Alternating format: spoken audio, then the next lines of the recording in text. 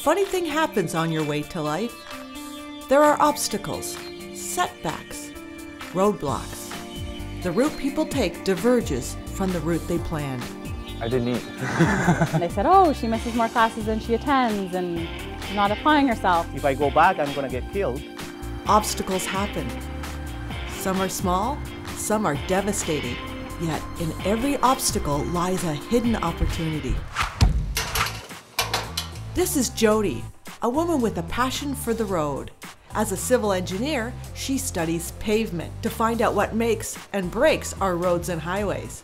A diploma in civil engineering made it possible, a destination Jody never would have imagined in high school. Well, it wasn't that I wasn't the smart person, I just didn't apply myself in high school. My main priority was friends and hanging out.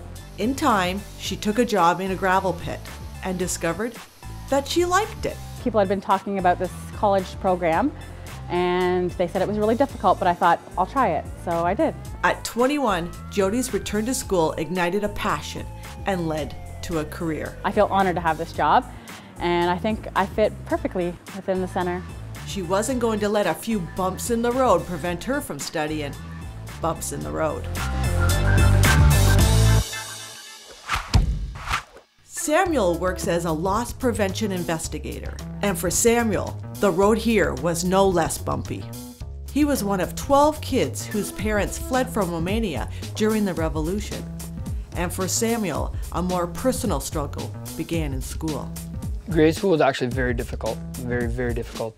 Um, for me, basically, I was in a special ed class.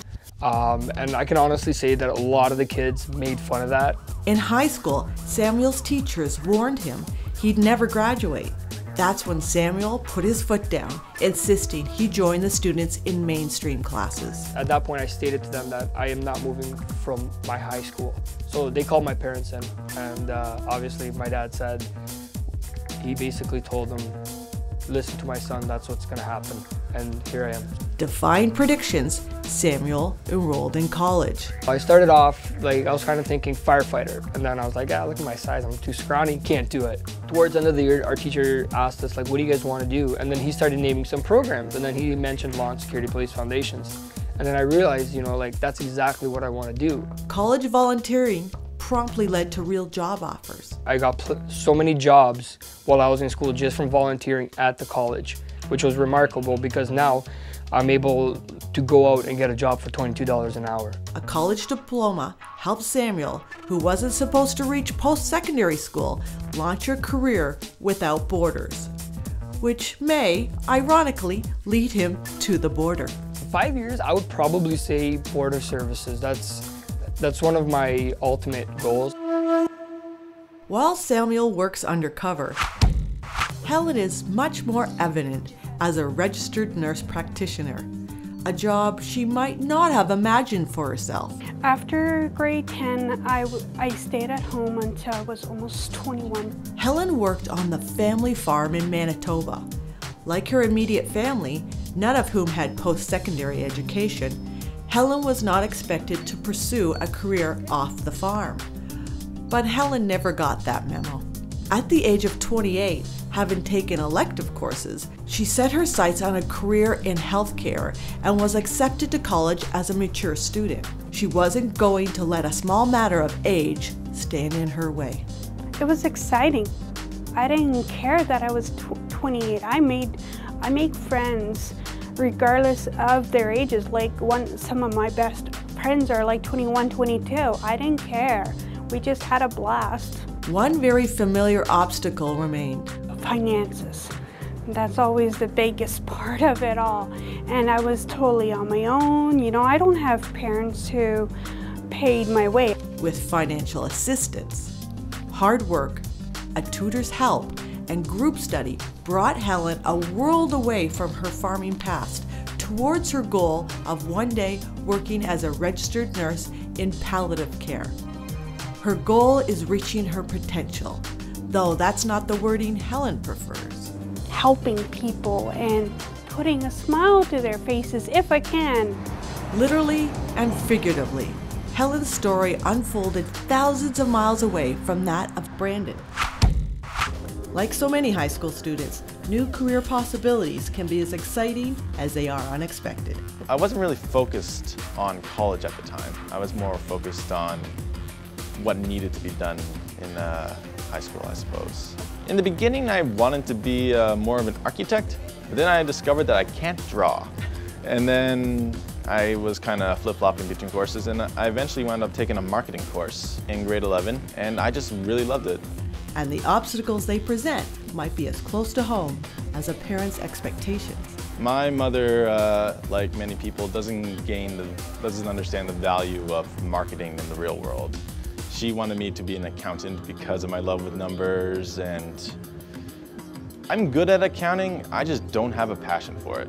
Opportunities are available to any student who really wants to be here. I mean, I don't have uh, the funds to be here on my own, so I rely heavily on scholarships and financial aid. And trust me, if you deserve to be here, you will be here. The money is out there. It's just a really good ego booster, I suppose, to find, to say, I know what I love, and this is what I'm gonna do.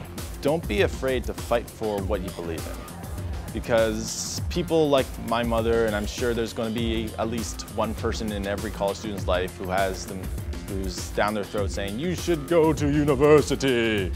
But of course, this is just so much better. And there's plenty of time for university down the road.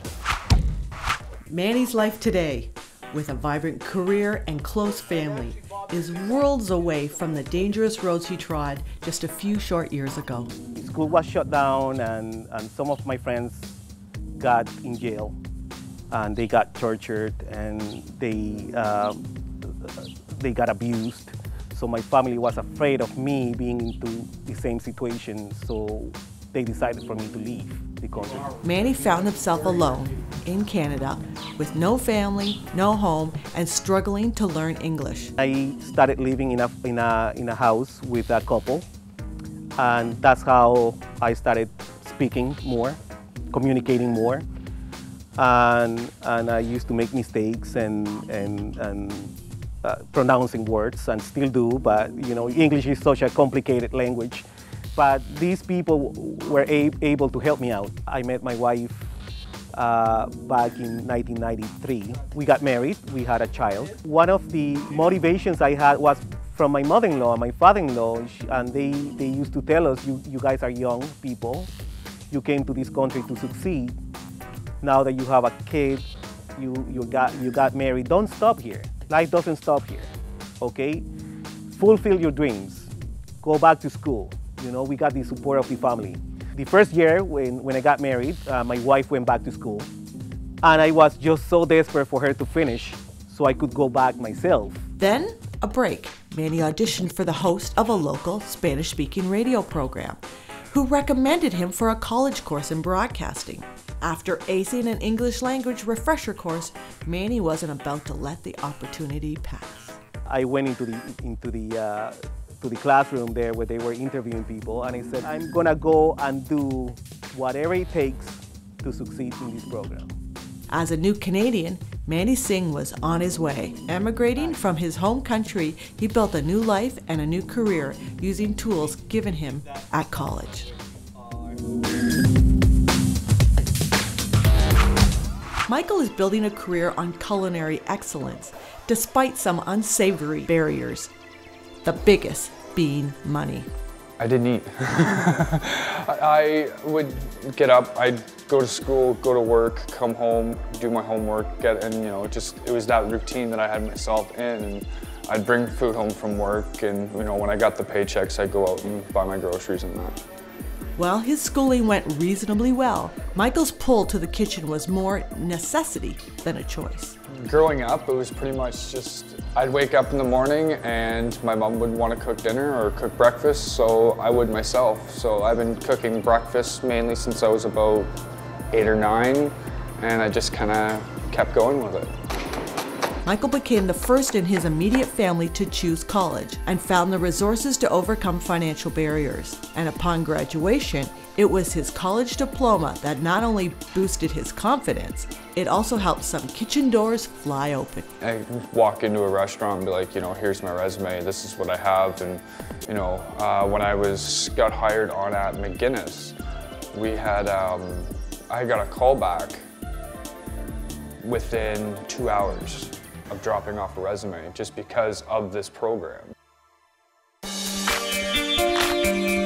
Life is about obstacles, of confidence, of finances, of expectations or lack of expectations, or wrong turns and personal baggage. These are only a few of thousands of stories where college helped clear the road of obstacles and barriers. For these very different people with vastly different stories, college opened a world of possibility.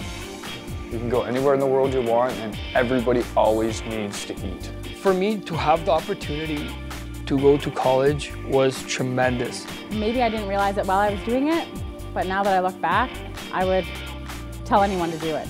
It's you that is in charge of your own destiny. Going through college has changed my life. Stick to your guns and don't be afraid to get a little dirty. It's worth it. After you're done, the sky's the limit for you.